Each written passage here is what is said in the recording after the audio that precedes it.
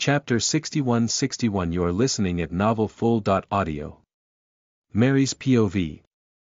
I hurriedly moved about my room, meticulously double-checking that I had packed every essential item for my upcoming journey to the prestigious Imperial Academy in the Hestia Empire. My mother was a flurry of concern, incessantly reminding me not to forget anything crucial. Despite my reassurances that I had everything covered, she reappeared with a forgotten robe in her hand and a playful scolding on her lips. I couldn't help but playfully bite my tongue, a mixture of amusement and exasperation in my eyes. All done. I said. The next leg of my journey would take me to the capital, where I would access the transportation portal to reach the port. Although I was confident in my abilities to navigate the bustling city on my own, my mother insisted on accompanying me, her protective nature shining through. Let's get outside, everyone's waiting for you. Mom called me, together, we embarked on our path, with the carriage awaiting us with an unexpected sight. Instead of the usual horses, my mother had arranged for majestic unicorns to pull our carriage, their presence adding a touch of whimsy to our journey. It's too costly, but my mother won't listen when I say it's fine if I use a normal carriage, she said it's more comfortable, and we can reach the capital in just three days. Just a second, and I'll be back. I hurriedly turned and ran into the house before crossing the threshold, and my mom followed me. Returning to my mother's collection room, a place filled with cherished memories and treasures, I found myself drawn to a black locker tucked away in the corner. With a flick of my hand, I unlocked it using a simple yet powerful magic spell. As the door swung open, I was greeted by the sight of my father's prized possession, a sword. Tizona. I softly called its name, there is a note beside it, but I didn't pick it up. I've read it like a thousand times already, and it always makes my mind clear and muddled at the same time. I gingerly picked Tizona, feeling the weight of its significance and the bittersweet memories it held. Zoop I carefully stored the sword in my spatial ring, a gift from my mother that held immense value, both sentimental and material. Do you have to bring it along? You still cannot use it. When my mother questioned the necessity of taking the sword, I couldn't find the words to respond. Some things are better left unspoken, their meaning understood in the depths of our hearts. Emerging from the confines of our home, I was greeted by the presence of my mother's close friends, a gathering of familiar faces that had become a part of my life. Among them were Ren's parents, individuals I hadn't seen since the dissolution of my engagement with their son. A mix of emotions swirled within me as we exchanged polite pleasantries. I do not hate them, they are good people, it's just that their son is the annoying one. Dot. When I remembered, I looked around. I did not find him here. Why is he not here? Did he not come to see me off? Why? Mary. Are you looking for someone? Mom asked me as she placed her hand on my shoulder, making me come out of my thoughts. Mom. Yes. Mom should know where that guy is. She's been meeting him to teach him something. I don't get it. Why would she waste her time on someone who doesn't have a speck of talent? He also manifested his element like two years later than normal, and it's also an inferno element, not a water element like me. Disappointing. Nope. I replied, I cannot think of anything or anyone else other than my goal right now, he'll come around either way. As we bid farewell and embraced one another, I felt a renewed sense of determination and resilience surging through my veins. The Imperial Academy beckoned, promising a world of knowledge, growth, and countless opportunities waiting to be seized. With my mother on my side, the carriage set into motion, the regal unicorns gracefully pulling us forward on our path through the sky. Through the carriage window, I stole a tender glance at my mother, our eyes meeting in a silent exchange of understanding and unconditional love. It was a glance filled with unspoken words. Are you thinking about why Ren didn't come? Mom asked tenderly without looking at me while reading a book. No, I am not. I answered, but deep inside I wanted to know, why didn't he show his stupid face when I was leaving the town? Well, it's his fault now, he won't be able to see me for like a whole year. Okay, I thought maybe you were. Mom flipped another page of her book. Gulp. Curiosity was winning over me, so I asked, why didn't he come? Still looking outside the window so that she wouldn't look at my face, I waited for the response. He left the Sephra a few days ago. Mom said calmly. What? I wasn't informed about this, how dare he?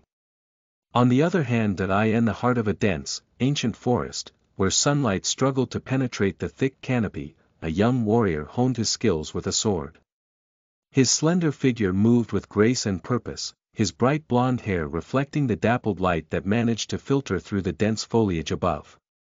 With each swing of his blade, he displayed a mastery of technique that belied his tender age of 16. Another day of training is complete. Adam said while exhaling deeply. Leaving behind a trail of fallen trees and shattered rocks, testaments to the intensity of his training, Adam paused to catch his breath. Beads of sweat trickled down his forehead, evidence of the physical and mental exertion he had poured into his practice. With a sense of satisfaction, he surveyed the forest, appreciating the tranquility that enveloped the sacred grove. This place has always been my refuge, a sanctuary amidst the chaos of the world. Adam said while admiring the surroundings. As he made his way back through the woods, the sound of rustling leaves accompanied his footsteps. He soon arrived at a familiar place. Aurora Haven, the name of the place. An orphanage nestled amidst the ancient trees. Warm smiles greeted him as fellow orphans and caretakers acknowledged his return. However, it was a small girl, barely reaching his waist, who caught his attention. She approached him with a mischievous gleam in her eyes and whispered something into his ear. Adam, guess what? William is here. He's waiting for you in the office. The girl whispered excitedly. William. He's back. That's amazing. Let's not keep him waiting. Adam's eyes widened extremely. Without a moment's hesitation, Adam's expression shifted, his eyes alight with excitement and anticipation. He swiftly made his way to the orphanage's office, where a man in his late twenties awaited him. It was William Stales, someone he regarded as a brother, despite their lack of blood ties. Adam, my boy. It's been too long. I'm thrilled to be joining you on this trip. William, having taken a break from his nightly duties, greeted Adam with a wide smile and open arms, ready to accompany him on their upcoming journey to the port. Eddie E. T. William, it's good to see you. I couldn't have asked for a better companion. The port won't know what hit it. Adam said while embracing William. As Adam emerged from the office, he retreated to his room, seeking solace in the cascading water of the shower. In the midst of his cleansing ritual, a familiar presence invaded his sanctum. It was his dear friend, Emily, who had wandered into the room unannounced. Curiosity sparked in Emily's eyes as she caught sight of a letter that Adam had received. Intrigued, she picked it up, holding the fragile parchment delicately in her hands. Adam, who is this letter from? It seems quite important to you. With a mix of intrigue and concern, she questioned Adam about the sender. It's from Mary, a girl I met a few years back. She's been sending these letters, asking for a rematch. Adam's gaze shifted to the floor as he confessed that the letters were from Mary, a girl he had crossed paths with years ago. In these letters, Mary pleaded for a rematch, an opportunity to reconnect. I see. And who is this Ren she mentions in the letters? Is he someone significant? Emily's inquisitive mind couldn't resist probing further. Her eyes fixated on a name mentioned in the letters, Ren. She questioned Adam about Ren's identity, Ren is a boy from Mary's neighborhood. He's been following her around, annoying her. She mentioned him as a sort of obstacle. Adam explained. However, Emily's intuition painted a different picture. An obstacle. Are you sure?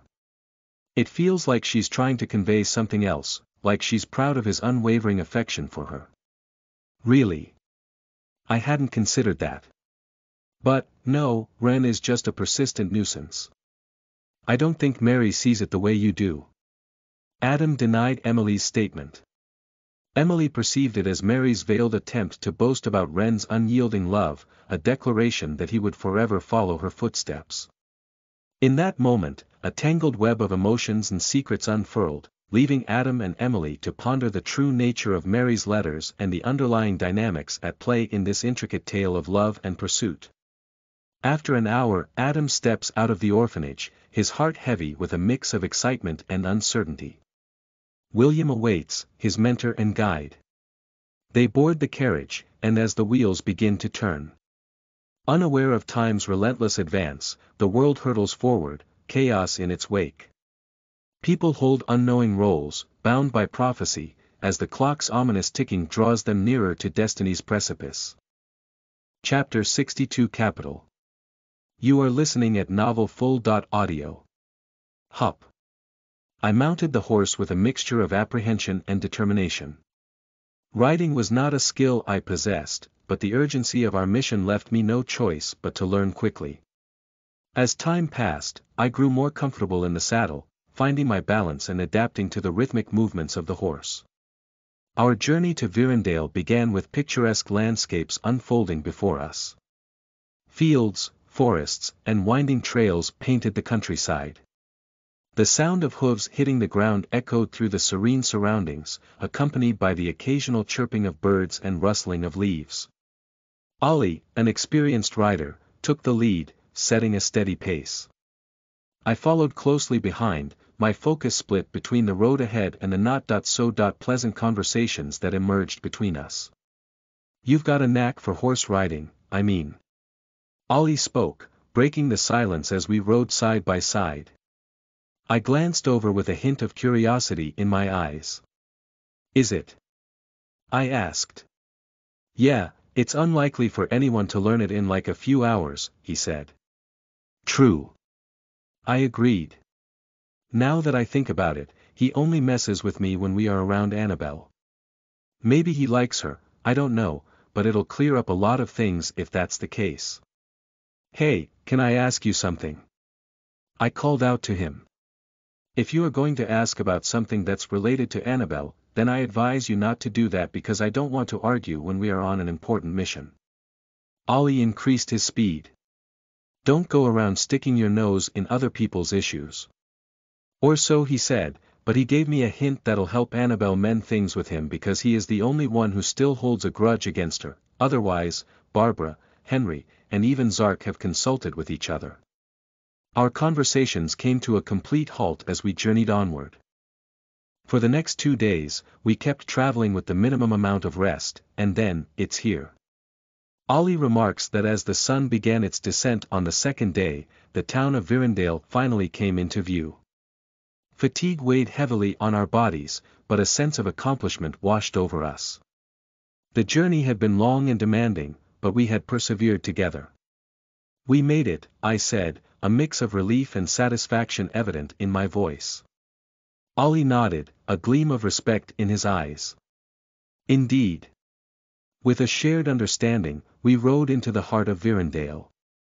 Virendale revealed itself as a bustling town nestled in the countryside. Quaint houses lined the streets, their facades painted in vibrant hues, adding a cheerful atmosphere to the surroundings. The main square buzzed with market stalls where merchants showcased their wares, filling the air with a medley of scents and sounds. The townsfolk hurried about their daily lives, their faces etched with the stories of a close-knit community. Ollie and I dismounted our horses, tethering them near the town's entrance, blending into the vibrant tapestry of Virendale. We strolled through the streets, taking in the sights and sounds that surrounded us. The aroma of freshly baked bread wafted from a nearby bakery, intermingling with the lively chatter of locals and the clattering of horse-drawn carriages passing by. I marveled at the architecture, admiring the intricately designed buildings that showcased the town's rich history. The cobblestone streets beneath our feet added a nostalgic charm, echoing with the footsteps of those who had walked them for generations. As we navigated the winding alleys, we couldn't help but notice the welcoming smiles of the townsfolk. Shopkeepers beckoned us into their stores, offering a glimpse of Virendale's local craftsmanship, from delicate tapestries to ornate wooden carvings. Virendale proved to be a place of respite and refuge where the worries and dangers of our journey momentarily faded into the background. Yet our task loomed on the horizon, a reminder of the importance of our presence in this vibrant town. Virendale had welcomed us with open arms, and now it was our duty to repay the town's hospitality with unwavering dedication. As we continued our exploration of Virendale, a renewed sense of purpose filled me. The sights, sounds, and interactions with the townsfolk infused me with a renewed determination to fulfill our mission and protect what was at stake. We now have to get to the city center. I said, we are not going to rest in Virendale because it'll be a waste of time. Ali did say that we should get something to eat first, but I refused, we'll be able to eat when we are in the capital. There it is. At the center of Virendale stood the colossal transportation portal, a testament to the convergence of magic and engineering. The portal's immense power consumed a significant amount of mana, limiting its usage to only twice a day. This scarcity of mana made the portal a hub of frenetic activity as wealthy merchants who could afford the travel costs hurriedly made their way through. The creation of transportation portals was a complex process that required skilled enchanters and mages. Intricate patterns and symbols were inscribed on circular platforms, channeling mana to infuse them with intent. These enchanters unleashed a surge of mana, causing shimmering gateways to emerge, bridging realms for swift transportation. The portals facilitated trade and communication, connecting distant markets and fostering economic growth. They were a testament to the mastery of enchanters and the bending of space and time through the forces of magic. The portal's guardian, a nerdy figure with glasses perched on his nose, approached Ren, exuding an aura of quirky wisdom. How many people are there with you? Two, no luggage. I just answered what was needed. It'll be 20 gold coins each, meaning 40 gold coins for both. He extended his hand forward, and I handed him the hefty sum of money, it's super expensive. As Ali and I approached the transportation portal, the sense of urgency in the air was palpable. Travelers and merchants rushed past, their footsteps echoing against the stone pavement. The enchanting glow of the portal's symbols and the crackling energy surrounding it further emphasized its mystical nature. I couldn't help but feel a surge of anticipation mingled with a tinge of apprehension, it's my first time traveling through the transportation portal. Taking a deep breath, Ali and I exchanged a determined glance. It's going to be a tough day, I murmured, acknowledging the obstacles that awaited us beyond the portal. Ali nodded in agreement, his eyes reflecting a steely resolve. Whoosh! With renewed determination, I tentatively stepped into the portal. A rush of exhilaration surged through my veins, blending with a tinge of nervousness. The world around me blurred and shifted, a kaleidoscope of vibrant hues enveloping my senses. The portal seemed to come alive, pulsating with a mysterious energy as if welcoming me into its enigmatic embrace. A sense of awe washed over me, for I knew that this was going to take me to the capital. After a few seconds. As I stood there, my senses were overwhelmed by the grandeur of the scene before me. The vast open ground stretched out in all directions, dotted with multiple portals similar to the one we had arrived from. People streamed in and out of the portals, creating a constant flow of activity and energy. Wow did it's really Arcanum. It was a mesmerizing sight to witness the diverse array of individuals entering this bustling hub, Arcanum is the name of the capital. With a mischievous twinkle in my eye, I turned to Ollie and couldn't resist cracking a joke. Well, Ollie, I think maybe we should get a coffee first. To which Ollie deeply sighed. After grabbing something to eat quickly, Ollie and I approached the address Henry had given, I stood in before the magnificent house. The grandeur of the wealthy merchant's abode overwhelmed me. Towering stone walls, weathered with time, displayed intricate carvings. The colossal wooden door, adorned with ornate metalwork, guarded the secrets within. Lush gardens surrounded the mansion, a testament to its owner's affluence. We entered the mansion as some guards came to escort us a few minutes after going into the mansion. There's a visible tension on Ali's face as he looked ahead of him and I also have some issues with this. So you are saying that we have to take that girl along with us? I asked cautiously. Yep. The stout guy nodded to my question like a total idiot. The girl stands before us, her entire form draped in long, flowing garments. A veil conceals her face, rendering her features a mystery. It's as if she is wrapped in a cloak of secrets, her presence captivating and enigmatic. Though her face remains hidden, I can sense determination emanating from her posture, a silent strength beneath the layers of fabric. Her eyes, veiled but piercing, hold a glimmer of intensity and purpose. Dot, how much? I asked, leaning back on the sofa. The merchant's face showed extreme innocence, as if he didn't understand what I was saying. Ha, don't make me say it again. I asked how much you're willing to offer for this sudden change, I let out an exaggerated sigh. Oh. Don't worry, I'll increase it by 50 gold coins. You just have to make sure both of them reach the destination, the merchant rubbed his hands together, but I could see him gritting his teeth beneath that tight-lipped smile of his. A hundred. I'll need a hundred gold coins, or I can't guarantee this lady's safety, I stated firmly. I wasn't going to do this without a substantial raise in the price. What? That's absurd. He became extremely flustered. It would mean he has to spend 290 gold coins on a single package, a huge sum even for a wealthy merchant like himself. So, do we consider it a breach from your side? We won't have to repay the money you gave us in advance if you're the one breaching the contract, right Ali? I turned to Ali, who nodded. He surely keeps his mouth shut at important times. But it's you who increased the price out of nowhere. I'm not at fault, the merchant blabbered, as if thinking I would fall for his excuse. Well, it's you who changed the terms of the assignment, not once but twice. And as for the price, I don't think the court would look kindly upon our mercenary group if we value a human life at a mere hundred gold coins, am I right, sir? I explained, confident that even if this guy complained to higher dot ups, it would come back to bite him. Suddenly, the veiled girl leaned forward and whispered something to the merchant. He pondered for a while before the girl returned to her position. Okay, deal, the merchant finally agreed. Chapter 63 Ali You are listening at novelfull.audio. Annabelle's POV. Step step as I paced back and forth in the hotel room, my heart was consumed by a mix of anticipation and worry. It had been exactly four days since Ali and Ren embarked on their journey to Virendale. Each passing moment felt like an eternity, and the weight of uncertainty pressed heavily upon me.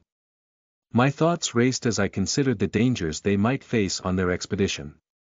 While I had complete trust in Ali's skills and Ren's resourcefulness, I couldn't help but fear for their safety. The tension between Ali and Ren added an extra layer of concern, making me question if they would be able to put their differences aside and work together. Sitting down on the edge of the bed, I took a deep breath in an attempt to calm my racing mind. The room felt suffocating, as if it mirrored the turmoil within me. The truth was, something had changed within me since Ren entered my life.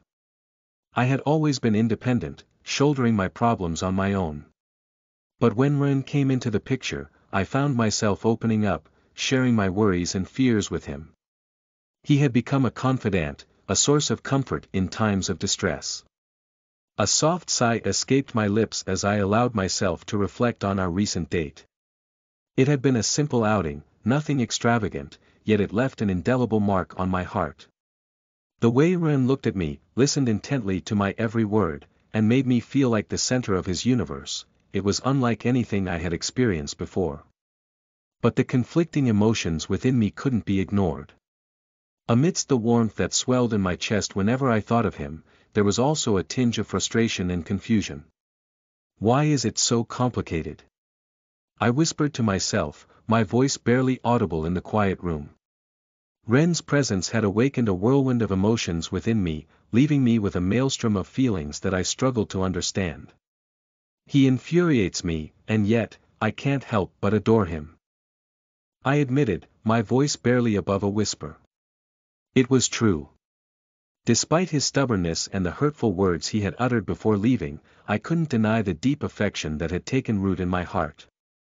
A surge of frustration coursed through me as I recalled his dismissive remark about our shared moments being mere consequences of a drunken encounter.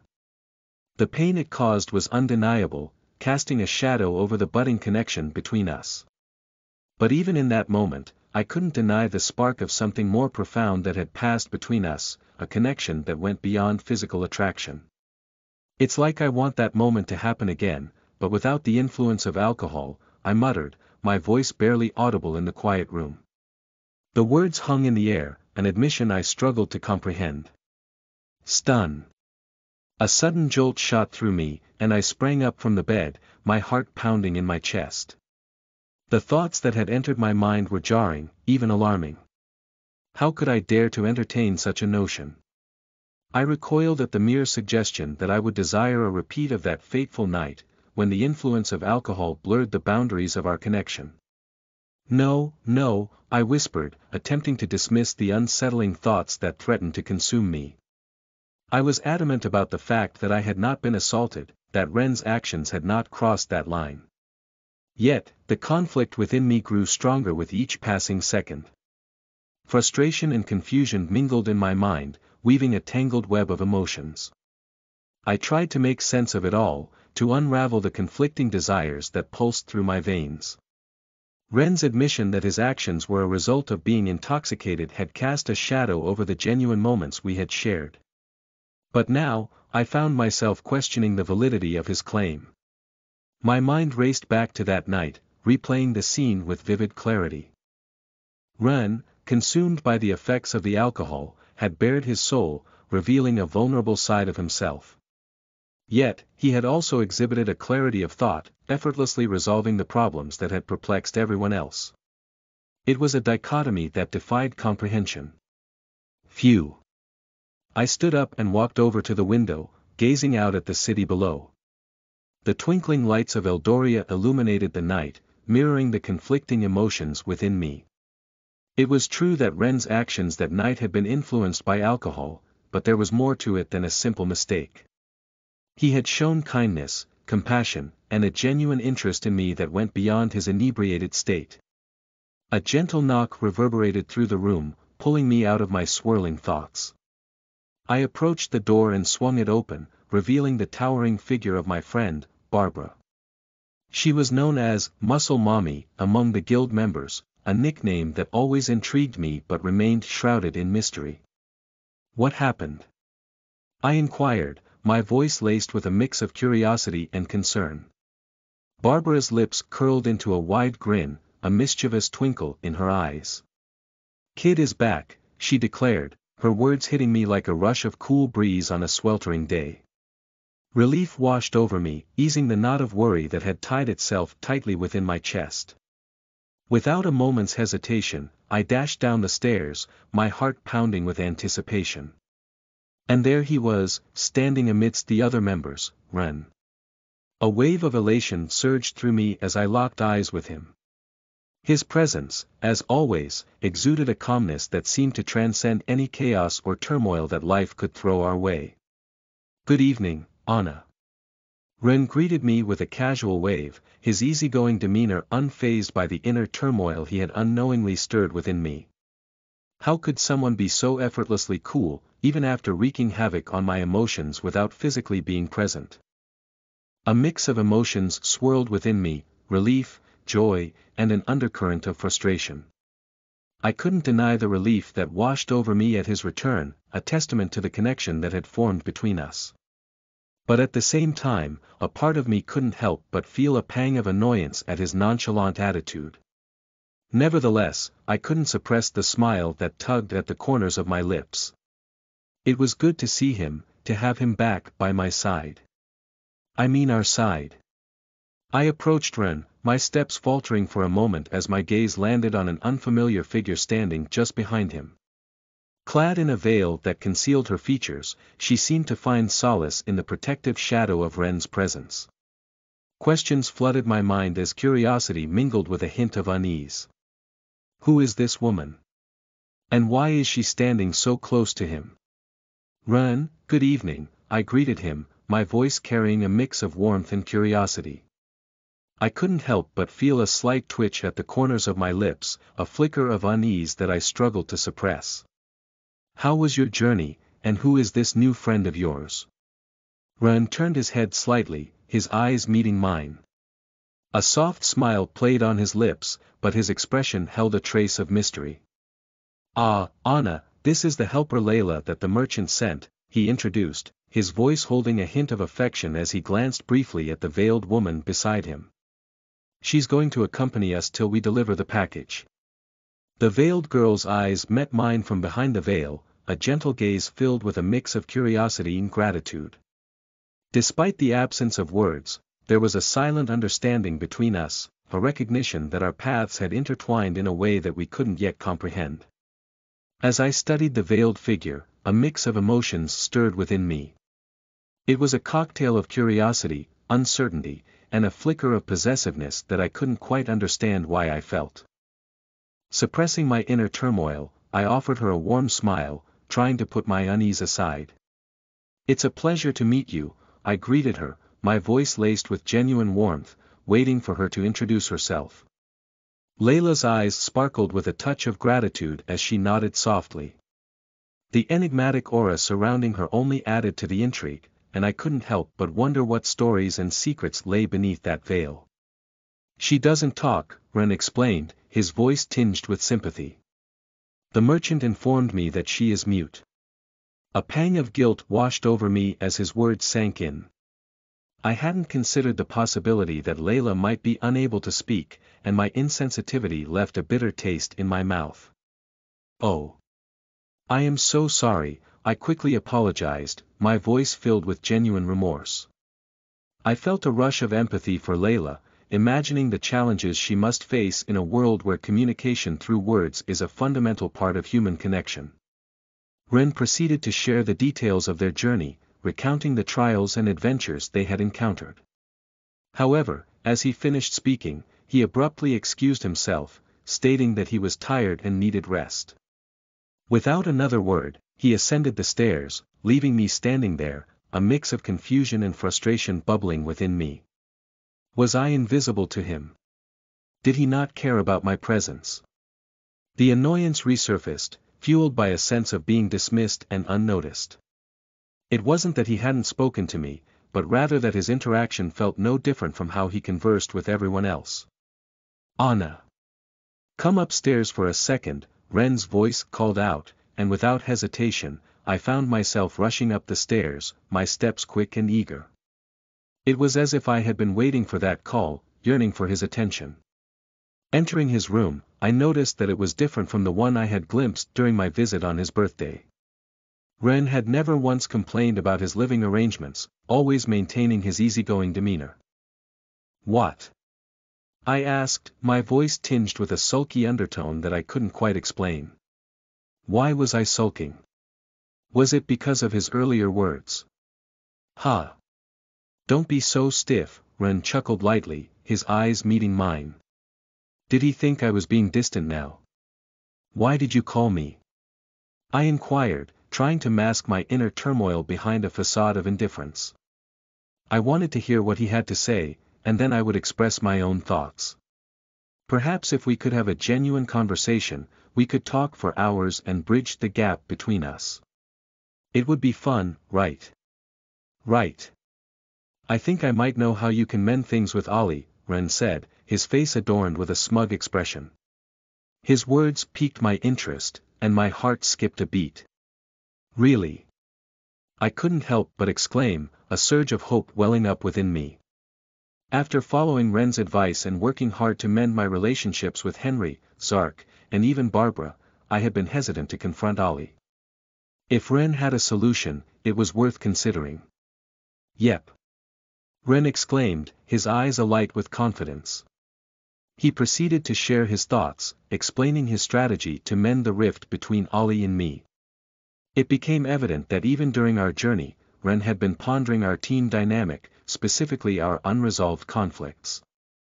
I don't think it'll work. In fact, it might only frustrate him further, I voiced my concerns, hesitant about the plan Ren proposed. It seemed risky, and I feared it could deepen the divide between Ollie and me. Sighing, I pondered the situation, my mind racing with conflicting thoughts. Ren stepped forward, his gaze locked with mine, and he spoke with a gentle determination. Anna, he uttered my name, his voice carrying a hint of sincerity, believe me. My throat tightened, and I could feel my heartbeat quicken. Was it anticipation? Uncertainty. The tension between us was palpable, but to my relief and disappointment, Ren calmly stepped back, breaking the intensity of the moment. When do I have to do this? I finally asked, surrendering to the plan that Ren had devised. It was a matter of timing, and if we could resolve the conflict before leaving Eldoria, it would be for the best. Ren provided the necessary instructions, and I nodded, committing myself to the task ahead. As I left Ren's room, my heart was filled with a mix of emotions, hope, nervousness, and a burgeoning sense of connection. I took a deep breath before entering the deserted hall, my footsteps echoing in the silence. The flickering candlelight created a mysterious ambience, casting enchanting shadows on the walls. The air was heavy with anticipation, knowing that Ollie was somewhere in this room, lost in his own thoughts. As I approached, I could see Ollie sitting alone at a table, his face partially obscured by the dim glow while looking at the bottle in front of him. The sight of him in that moment stirred a mix of emotions within me, anger, frustration, but also a flicker of hope that we could mend what was broken between us. Summoning all my courage, I made my way towards him. The clacking of my heels on the polished floor seemed amplified in the stillness of the hall. With each step, my heart pounded in my chest, unsure of what awaited me. Ollie's eyes met mine as I took a seat across from him. His expression was unreadable, guarded. It felt as if an invisible wall had been erected between us, and I was determined to break through it. Hey, I called out, my voice filled with a mix of determination and trepidation. Do you mind talking for a bit, I can't sleep at all. There was a brief moment of hesitation before Ollie responded, his tone curt and distant. I have nothing to say to you, Annabelle. My frustration surged, and I refused to back down. I leaned forward, resting my elbows on the table, meeting his gaze unwaveringly. Well, how can a coward who used to pee his pants till he manifested his core be brave enough to face me, don't talk just pour me a drink. Ollie's jaw tightened, his eyes flashing with a mix of anger and disgust. I knew it was a damn bad idea, Ren. Save me. Fuck off, I don't care if you are here to mock me, he cursed, his voice laced with bitterness. My heart sank at his words, realizing the depth of his hurt. But I couldn't let that deter me. Taking a deep breath, I steadied myself, ready to confront him head on. Taking a deep breath, I looked into Ollie's eyes with sincerity. Ollie, I want to apologize. I never meant to hurt you. Ollie's eyes narrowed, his anger intensifying. Sorry. That's all you have to say. You think an apology erases the damage you've done. Now I felt a surge of frustration, my own anger rising to match his. It's the same as Ren said, well, what do you want me to say, Ollie? Should I grovel at your feet? Beg for forgiveness like a child. Maybe that's what you're looking for. His voice dripped with sarcasm. Oh, how generous of you, Annabelle. Offering me a chance to witness your impeccable acting skills. Bravo. I scoffed, unable to hold back. Impeccable acting. Coming from the master of bottling up emotions and pretending everything is fine. I feel angry and light at the same time. Ollie's nostrils flared, his fists clenched on the table. You don't know a thing about me, Annabelle.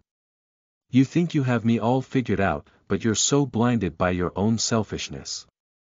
A smirk played at the corner of my lips. Selfishness. Oh, please. Coming from the person who used to be terrified of spiders and couldn't handle his own shadow. It's funny that I still remember the moment like it was something that happened yesterday. Ollie's eyes widened in disbelief. You're really going to bring up my fear of big spiders. Well, let's not forget your irrational fear of clowns. I raised an eyebrow, ready to retaliate. Oh, so now we're exchanging childhood fears. How about the time you cried like a baby when a butterfly landed on your nose? Ollie's face flushed with embarrassment. That was one time.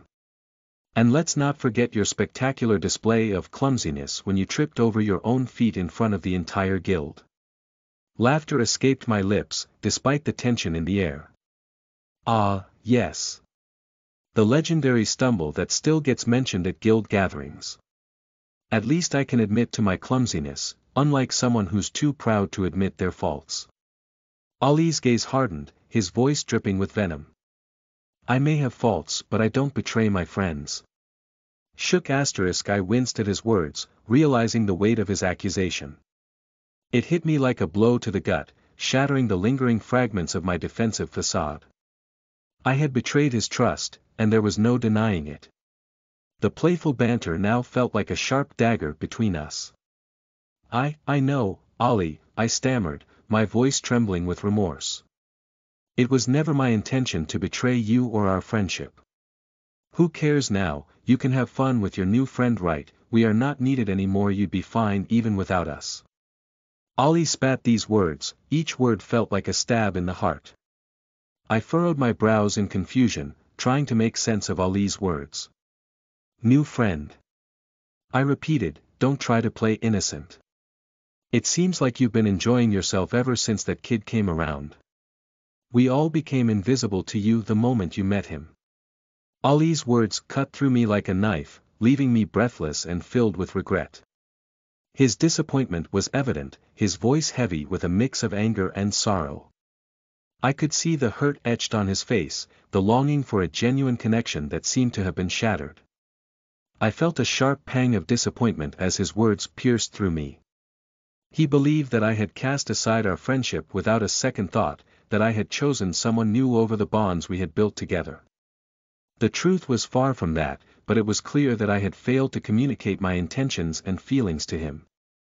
Taking a deep breath to steady myself, I locked eyes with Ollie.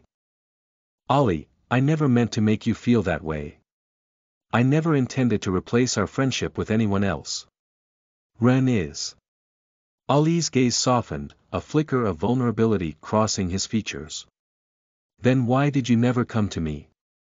Why did you make decisions without even talking to me first? His question hit me like a ton of bricks. In my pursuit of finding my own path and seeking solace in Ren's presence, I had unintentionally neglected Ollie. The realization weighed heavily on me, and I felt a deep sense of remorse. I, I thought you were pushing me away, I admitted, my voice filled with a mix of regret and sadness. You seemed distant, and I thought I was becoming a burden to you. I didn't want to intrude or make things worse. As the weight of his disappointment settled upon me, a wave of realization crashed over me that he was right.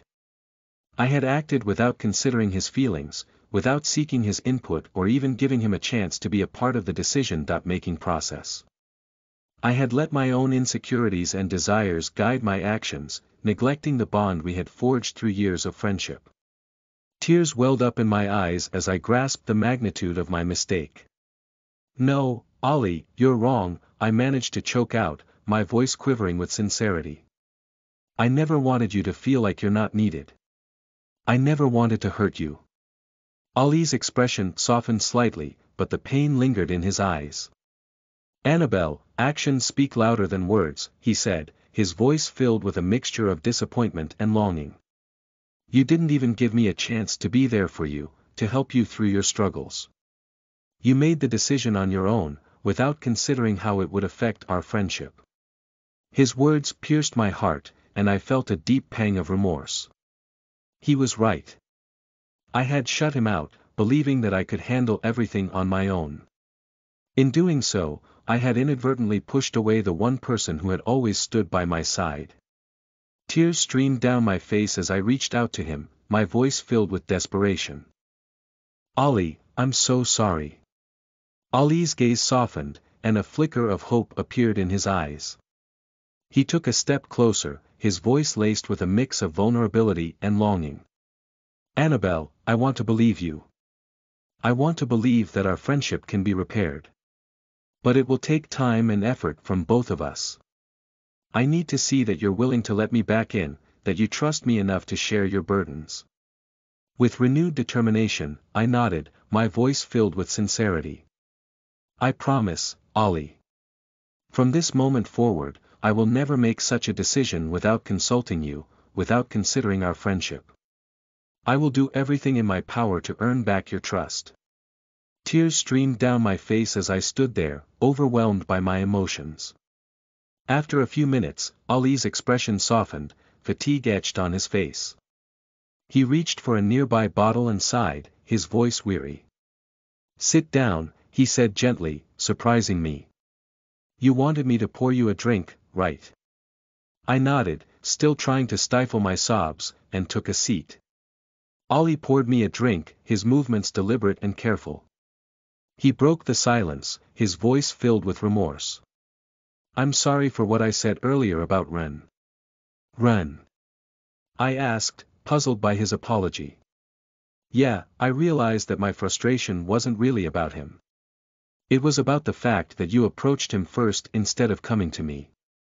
I listened intently, finally understanding the root of Ollie's hostility towards Ren. Hey, Ollie, I called out, my voice trembling slightly. Hmm, he responded, looking at me with a mix of curiosity and weariness. What do you really think about Ren? I blurted out, unable to contain my curiosity any longer. Ollie paused for a moment, contemplating his answer. Honestly, I didn't know what to make of him at first. He seemed like a mysterious and suspicious kid. But as we spent these few days together, I've come to realize that he's incredibly intelligent for his age. When that merchant sent that girl to us, I was at a loss, but Ren handled the situation with remarkable skill. As Ollie praised Ren, a sense of pride swelled within me, accompanied by a newfound appreciation for Ren's capabilities. Yeah, it's incredible, I agreed, my voice filled with awe. Ren possesses a level of maturity that surpasses his age. Ollie chuckled, a hint of amusement in his voice. Exactly. It's hard to believe that there's a 10-year age gap between us when we interact with him. His casual mention of Ren's age difference with me stirred a complex mix of emotions within me. It annoyed me. Everything fell into a hushed silence, and I took a leap of faith to break the ice. So, how are things going between you and Barbara? I asked, a mischievous glint in my eyes. Ollie flinched, and a deep blush crept up his cheeks, betraying his embarrassment. He had always been like a brother to me since childhood, so I knew all too well his feelings towards Barbara that had developed over the years. That's not something you should be concerned about, he blurted out, his words accompanied by a swift gulp of the drink in his glass. Steam seemed to emanate from his reddened face. I couldn't help but giggle at his adorable reaction, some things never change. A slash N, hee hee. Hee hee hee, I have some exciting news for you all. 1. First of all, thanks to all you lovely people, we reached 300k views yesterday. That means we gained nearly 100k views in just 6 days. 2. Get ready for the 25th of this month, because I'll be releasing a bunch of chapters all at once. I'm feeling so happy, and I want to share that happiness with you. 3. Now, this one may or may not make you happy, but let me tell you that for the next 30 to 40 chapters, you won't be getting other characters' points of view. I can change this decision if you want. 4. And finally, this news will surely make you ecstatic. I love you guys, I really do. Chapter 64 Leaving Eldoria. You are listening at novelfull.audio. Is everything alright? Henry asked, glancing back at us. Annabelle gave him a thumbs up, indicating that things were going smoothly. I was glad to see that Henry and Annabelle seemed to be getting along well. Their camaraderie brought a sense of unity to our group, enhancing our overall morale. Anna, make sure to pack the food, or else we'll be stuck eating whatever culinary creation Henry comes up with, Ollie chimed in, joining us near the carriage, his hands full with supplies. Annabelle's face lit up with a cheerful expression. Don't worry, Ollie. I'll make sure we have some delicious meals while we're on the road. Her merry demeanor was infectious, spreading a sense of anticipation among us. Ho ho, it seems like your advice worked, Blaze's voice echoed in my mind, referring to the strategy one had suggested to Annabelle. BDNVLDM indeed, my advice to Annabelle had been fruitful. I had encouraged her to challenge Ollie to the point where he would either speak up or let loose with his characteristic fiery language. Either way, it was bound to lead to a resolution, as Ollie tended to be unfiltered in expressing his thoughts when pushed to his limits.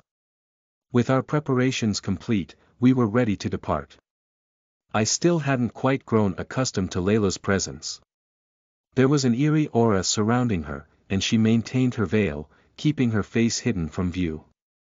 Given the absence of any discernible magic emanating from her, I assumed she was a commoner. Let's go, Ollie declared, bringing his horse alongside mine. Our task was to guard the carriage from the outside, while Zark, Annabelle, and Barbara rode within the confines of the carriage alongside Layla. It was clear that Layla held the wooden box containing something of great value. As Henry initiated the carriage, the horses began their steady march, propelling us forward. Our next destination was Ivory Gate, a border town nestled between the Riva Kingdom and the Grav Kingdom. This time, we planned to travel continuously without any extended stops. It would take around 14 to 15 days to reach Ivory Gate, where our journey would conclude, and we would part ways. Hey Ren, how are you holding up? Annabelle leaned out of the carriage window, her green hair swaying in the wind. Annabelle had been in high spirits since reconciling with all of our friends. Her genuine happiness was contagious. I'm fine, I replied with brevity, mustering a small smile. My mind was occupied with numerous thoughts. Annabelle pouted and retreated back into the carriage, seemingly disappointed with my short response. Huh, you better not make her angry, man. That girl has a soft spot for you, Ollie chuckled, drawing his horse closer to mine and patting me on the back, consciously avoiding my shoulders. Ah, I wasn't trying to upset her. Just lost in my thoughts, I sighed, looking at him. But it's quite surprising to see you talking to me so casually and laughing. Ollie, who had always been abrasive towards me, was now unexpectedly friendly. Well, you know. Ollie glanced around, then met my gaze. I wanted to apologize for whatever I said to you. I wasn't in the right frame of mind, and my words were never intended to hurt you. Oh, that. I feigned surprise, though I had long suspected that Ollie's animosity towards me wasn't genuine. Don't worry about it. It takes someone truly important to hurt me, and you didn't even come close. You just managed to annoy me a little, I replied nonchalantly. Ollie's expression shifted, a hint of vulnerability surfacing. I don't know why that actually hurts my feelings, he admitted, his tone genuine. I couldn't help but feel a sense of empathy towards him. We all had our struggles and moments of vulnerability. Perhaps there was more to Ollie than met the eye, a complexity beneath his gruff exterior. Well, let's leave it in the past, I offered, reaching out to pat him on the back in a gesture of goodwill. We're all in this journey together, and it's better to build bridges than walls. Ollie nodded, a small smile playing at the corners of his lips. You're right, Ren. It's about time we move forward and focus on the task at hand. Ollie said while I pondered what I would do once I parted ways with the group. Obtaining a reliable horse would be essential, as I planned to head towards the border crossing, then make my way to the Riva Kingdom, and from there, follow Blaze's suggestion to venture to the enigmatic Crooked Islands. While I still didn't fully grasp Blaze's intentions, I decided to trust his guidance for the time being. As I delved deeper into conversations with Blaze, the discrepancies between the game world I had known and the information he shared became increasingly perplexing. Our discussions unfolded like an unraveling tapestry, weaving a tale that challenged the very foundations of my understanding. The map, once a reliable guide to the lands and kingdoms I thought I knew, was now called into question. Blaze's words painted a new reality, one where the boundaries of realms shifted, and unexpected realms, such as the enigmatic demon kingdom, rose to prominence. Mermaids, once confined to the realm of myth and folklore, now claimed their existence in this magical world. The implications of Blaze's revelation extended far beyond mere geography. He claimed the power to alter bloodlines, a feat I had believed impossible within the confines of the game mechanics.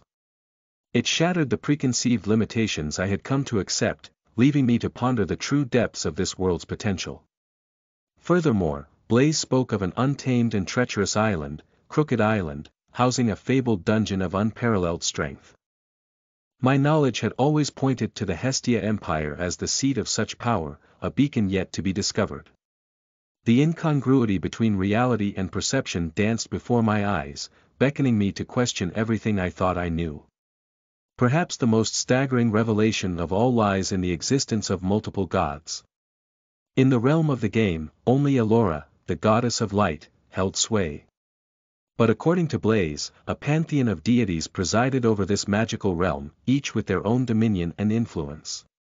The implications of such divine presence ignited a sense of awe and uncertainty within me.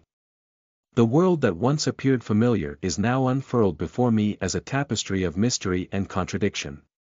The game's boundaries had expanded beyond imagination, challenging the very essence of what it means to inhabit this magical realm.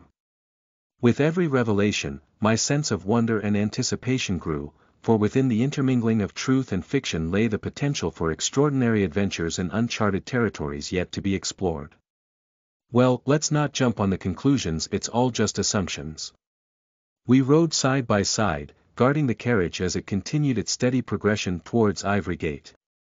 The passing scenery unfolded like a breathtaking tapestry, lush fields, shimmering rivers, and ancient forests, all bathed in the warm hues of the setting sun. The rhythmic clip-clop of hooves on the road accompanied our journey, creating a soothing symphony that reverberated through the surrounding landscape. As dusk casts its gentle veil upon the world, we set up camp for the night. The crackling fire illuminated our tired faces, forging a bond that went beyond the boundaries of our initial agreement. We shared tales, laughter, and even moments of vulnerability, strengthening the foundation of our newfound camaraderie.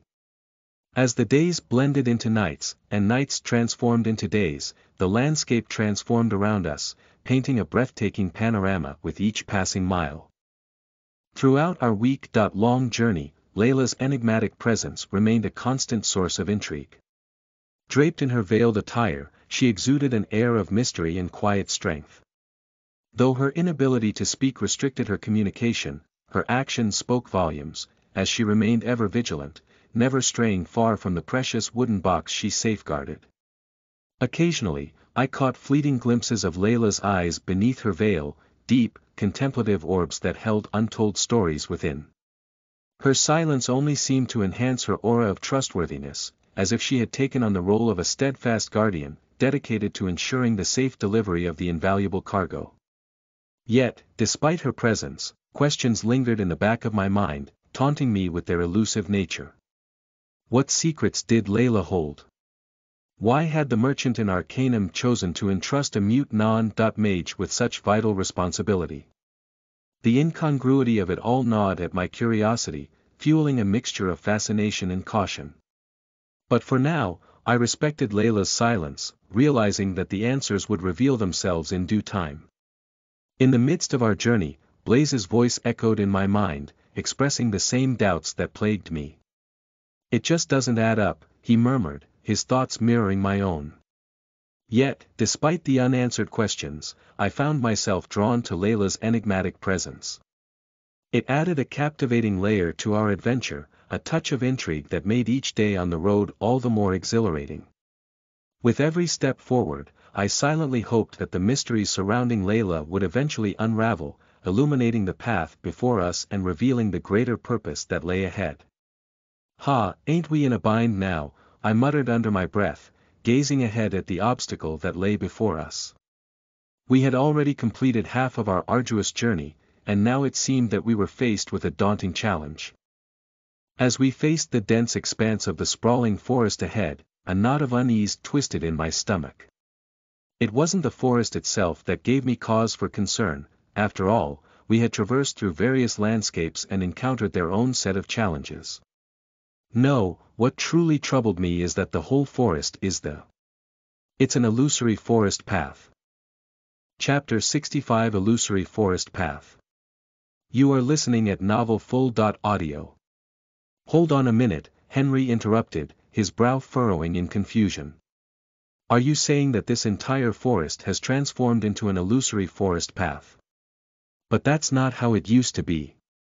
Ollie chimed in, his voice laced with skepticism. Yeah, I've been through this forest before, and it was just a regular forest. How did it suddenly turn into an illusion? It's as if the very fabric of reality has shifted, I muttered, my eyes scanning the mysterious forest before us. Blaze, do you have any idea why this could have happened? Silence hung in the air for a moment, as if even Blaze was contemplating the inexplicable nature of this phenomenon. Then, his voice resonated in my mind, tinged with a hint of uncertainty. I can't say for certain, but it's possible that powerful magic is at play here. The illusory forest path is a rare occurrence, typically associated with ancient enchantments or the influence of magical artifacts. My eyes gleaming with curiosity, I asked. So, you're saying that someone intentionally turned this forest into an illusion. But why? Blaze's response was laced with intrigue. There could be various reasons, my friend. Perhaps there's a hidden treasure or a valuable artifact concealed within the forest. Or maybe it's a defense mechanism to keep trespassers at bay. Trespassers. I thought it was interesting. Zark, usually the reserved one, couldn't contain his excitement. Well, whatever the reason, it sounds like we're in for quite the adventure. I've always wanted to test my skills against illusion magic. Annabelle playfully nudged Zark. Careful what you wish for, Zark. Illusions can be quite deceiving. They can twist your perception and lead you astray. Ollie crossed his arms, his eyes scanning the forest with caution. I don't know about you all, but I've had my fair share of encounters with illusions. They're never as harmless as they seem. Okay then let's go, it'll take like a day to cross the forest. Henry said, there's nothing to worry about illusions if it's only illusion. Hey, Ollie. I called, give me a sword. I requested, here, he passed me an extra sword from the carriage I think it's going to be fun inside. And now, Barbara, Annabelle and Zark get inside the carriage and guard Layla. Ollie keep your horse a little behind me, you too Harry. I'll lead ahead. I explained the instructions. Silence. What? I looked at them and saw they were looking at me with a curious gaze, do they not get my words at all? Nothing, it's like you are used to giving out orders. Henry scratched the back of his head. And I think you should go inside and I'll guard instead of you since you are inexperienced. Zark stepped forward, it'll take days if I leave this task to these guys. Nope, I said get inside and believe me, I'll make us get out of it by the sunset. I was not in the mood to argue with anyone. Ha fine just make sure you don't get scared of the illusions. Zark rubbed his temples and went inside along with others. I'll be at the front. I brought the horse in front of the carriage and with a shared resolve, we entered forward, venturing into the illusory forest path.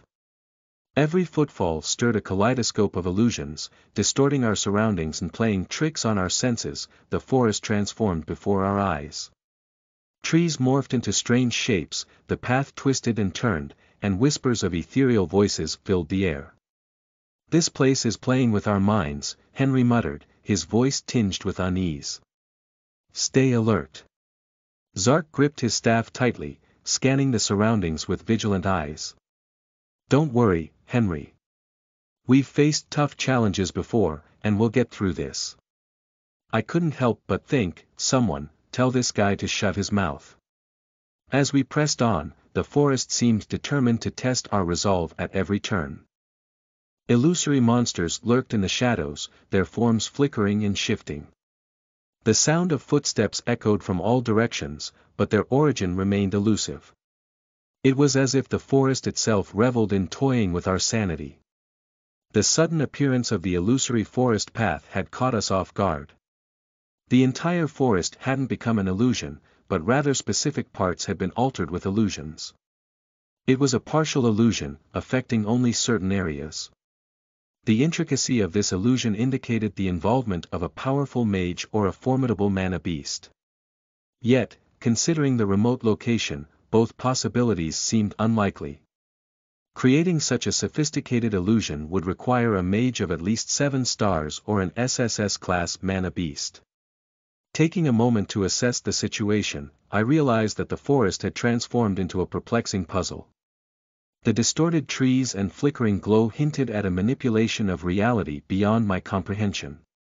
I couldn't help but wonder who or what possessed the ability to weave such illusions in this secluded place, whenever we encountered an object or a barrier, we would reach out and physically touch it to confirm its reality. This way, we could distinguish between real obstacles and illusory ones. Dot after a few hours had passed, I couldn't help but feel a sense of unease as I looked ahead. Ha! I muttered, my thoughts echoing the strange circumstances we found ourselves in. Zark, seemingly unfazed, chimed in, see, I told you it would be easy. We cleared that illusory forest path in one go, and now we're outside the forest, on a well-paved road. But something about it all felt off, as if it were too Easy. We had ventured into the depths of an intricate illusion, yet we emerged unscathed without facing any significant challenges. It left me with a lingering sense of restlessness and an unsettling feeling in my gut. Turning to Blaze, who could sense my emotions from within, I sought his perspective. What do you think, Smokeball? Does this situation feel right to you?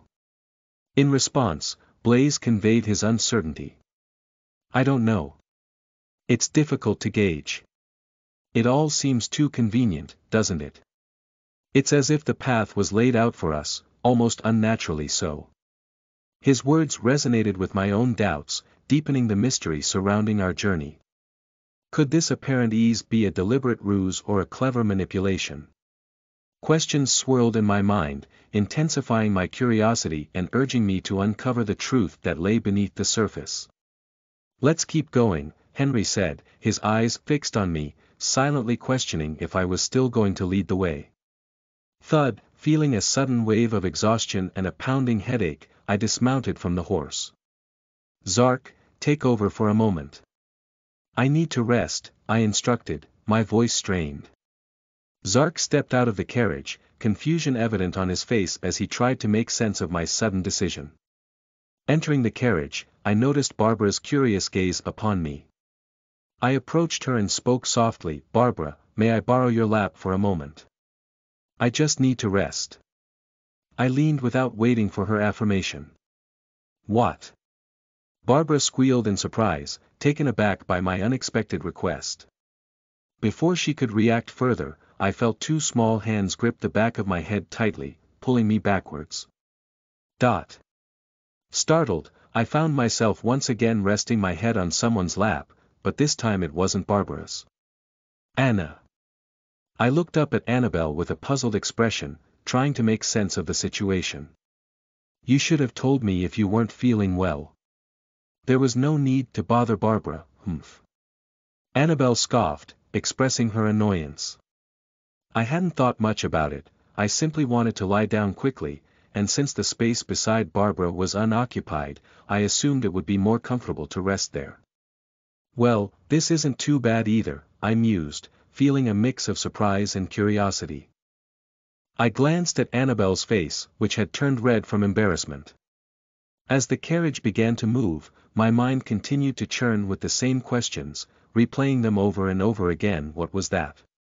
Once the carriage was out of sight, something peculiar occurred, a humanoid figure emerged from the forest, gazing in the direction the carriage had departed. His presence exuded an aura of darkness and power, leaving others with an unsettling feeling. He stood tall and imposing, adorned in obsidian armor that reflected a sinister light. With crimson eyes and flowing ebony hair, he emitted a calm yet menacing aura. His demeanor commanded respect and instilled fear, symbolizing formidable power and cunning intellect. Step, step. General Zephyrion. Footsteps resonated, and another demon with horns sprouting from his head knelt before Zephyrion. What's the progress? Zephyrion asked, his voice low and gruff. We are halfway through. It will take two more days to complete the inscription of the magic circles, the demon reported, his gaze fixed on the ground. Stand guard here. I will investigate myself, Zephyrion declared as he walked past the kneeling demon. As Zephyrion entered the forest, the demon exhaled with relief, knowing his life depended on his behavior. Zephyrion, who were they? A woman approached him, emanating an alluring yet unnerving presence. Her lithe figure was draped in flowing garments of deep obsidian, accentuating her serpentine grace. Her eyes, still possessing their venomous intensity, held a captivating gaze.